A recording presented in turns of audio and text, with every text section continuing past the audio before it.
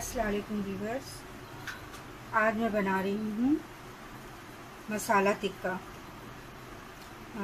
और मैं आपको बताऊँगी ये कैसे बनता है, उसमें क्या क्या डलता है।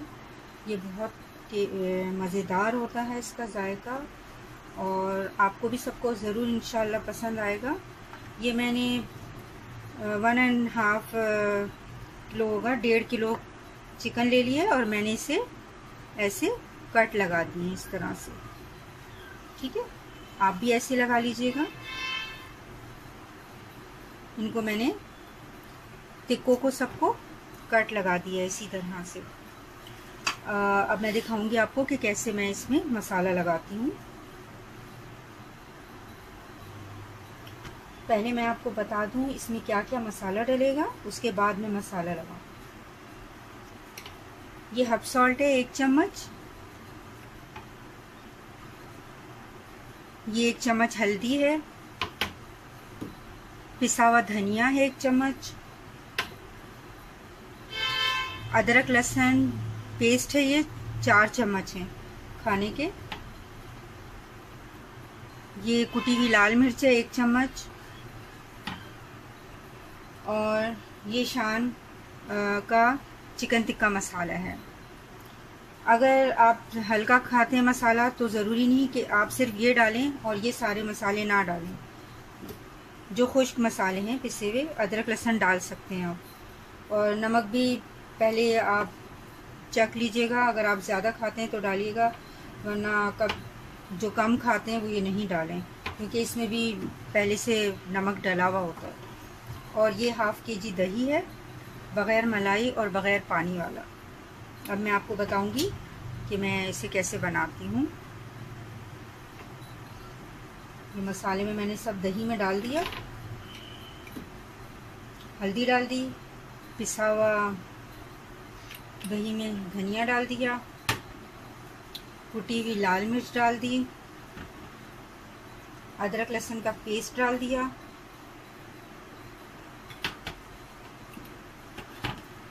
और ये नमक है, ये मैं ऊपर से हल्का हल्का ऐसे इस पर लगा लूँगी। ऐसे सब पर मैं, ऐसे टिक्कों पर लगा लूँगी। हाँ वीवर्स मैंने इस सब में मसाला लगा लिया नमक लगा लिया है। और इसमें दही में मैंने मसाला डाल दिए थे सारे। अब मैं ये शान टिक्के का मसाला है। चिकन टिक्का। मैं ये मिला रही हूँ इसके अंदर, दही में।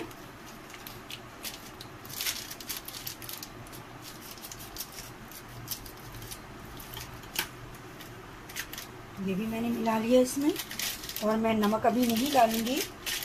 क्योंकि मैंने इसे भी नमक लगा दिया हल्का और इसमें भी नमक लगा हुआ है।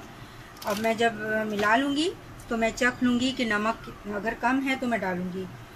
और ये कनौली ऑयल है, ये भी इतना नहीं डलेगा, सिर्फ़ दो या चार चम्मच की ज़रूरत पड़ेगी इसमें। बस, अब मैं ये दही में मसाले ऐसे मिक्स कर लूँगी सारे। दही भी फेंट फेंट लिया जाएगा ऐसे इसी तरह के तरीके से।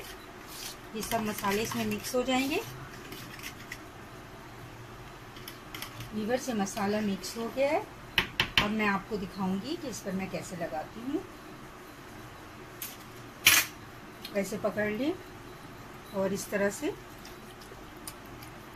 यूँ अंदर तक इसके अंदर लगाती जाए।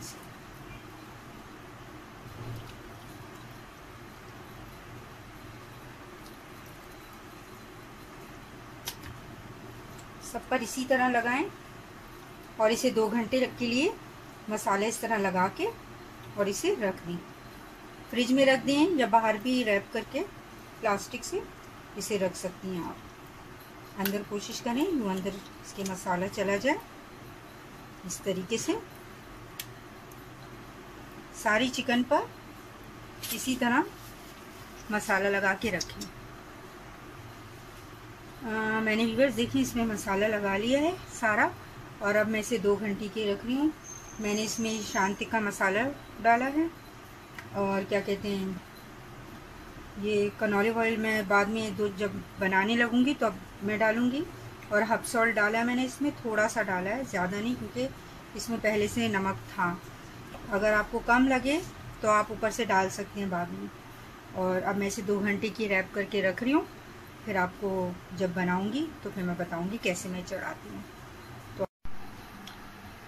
व्यूवर्स मैंने गैस ऑन कर दी है और अभी टिक्को को चढ़ाने के लिए और ये डेगची भी गर्म हो गई है और मैं इसे इसमें कनौलिव ऑयल डाल रही हूँ, दो चम्मच। बिल्कुल थोड़ा सा ऑयल डलेगा, ज़्यादा नहीं डलेगा।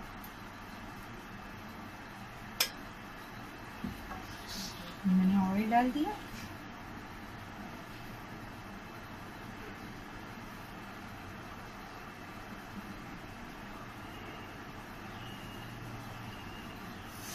टिक्का डाला।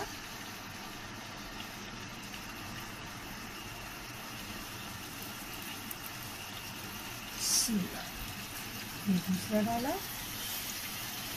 दो दो करके डालें ताकि खुला खुला बनता है तो बहुत अच्छे बनते हैं। ये ऊपर से इसका जो मसाला है, वो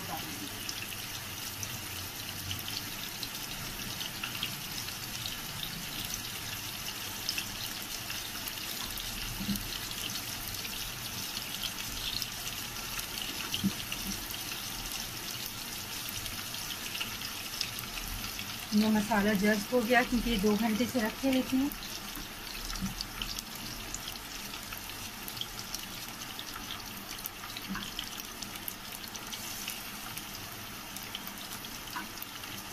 और बस अब मैं इसको दम पर रख दूँगी दम पर नहीं होगा, हल्की आँच पर होगा। और ये आधे घंटे में पक जाता है। अब दही भी अपना पानी छोड़ेगा और टिक्के भी अपना पानी छोड़ेगा। व्यूवर्स मैं ये ढकना रख रही हूँ इसके ऊपर। ठीक है? इसे गलाने के लिए। और ऊपर से नज़र आ रहा है। थोड़ी थोड़ी देर के बाद मैं देख लूँगी। आधे घंटे में जब पानी खुश्क हो जाएगा इसका, फिर मैं इसे कोयले का दम दे दूँगी। व्यूवर्स देखिए, अब मैं ढकना हटा रही हूँ। आधा घंटा हो गया इसे। ये देखिए, माशाल्लाह, कितना खूबसूरत लग रहा है ये। माशाल्लाह, देखिए, बिल्कुल तैयार है। और अब मैं इसे कोयले का दम दे दूँगी।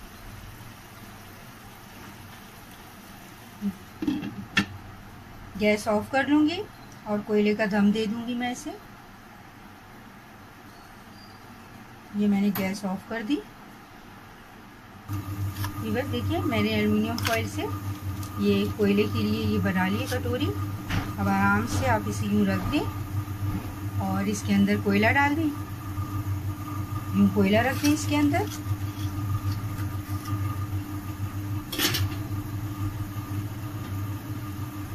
ये हल्का सा ऑयल डालें। और इसको दम पर रख दें। इसे पाँच मिनट रहने दें इसी तरह। जब इसमें जज्ब हो जाएगा सब तो फिर मैं ये ढकना हटा दूँगी और सर्व कर दूँगी इसे डिश में। पाँच मिनट के बाद व्यूवर्स मैं ये हटा दूँगी ढक्कन और इसे डिश में सर्व कर दूँगी, क्योंकि कोयले का असर हो गया होगा उस पर दम का। और मैं इसे निकालूँगी डिश आउट कर वीवर्स ये मसालेदार टिक्के तैयार हैं और अब मैं ये ढकना हटा रही हूँ और इसे निकाल रही हूँ बाहर और मैं ये डिश आउट कर रही हूँ। ये देखिए, बिल्कुल तैयार हैं।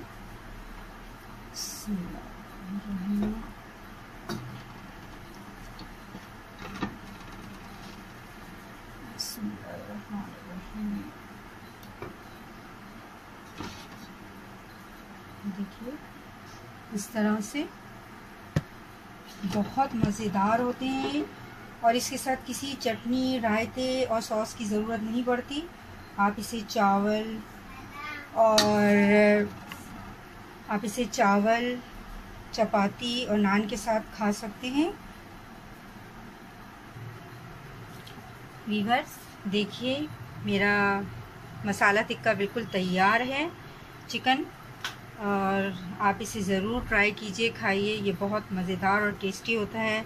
इसके साथ किसी सॉस चटनी और रायते की ज़रूरत नहीं पड़ती। ये इसका अपना खुद एक टेस्ट है, बहुत मज़ेदार।